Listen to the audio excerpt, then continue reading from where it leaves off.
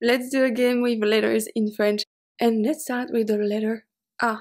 Can you find, starting with the letter A in French, un fruit, un légume, un animal, un vêtement, un pays? Write your answer in the comments and you can see my answers in the description box.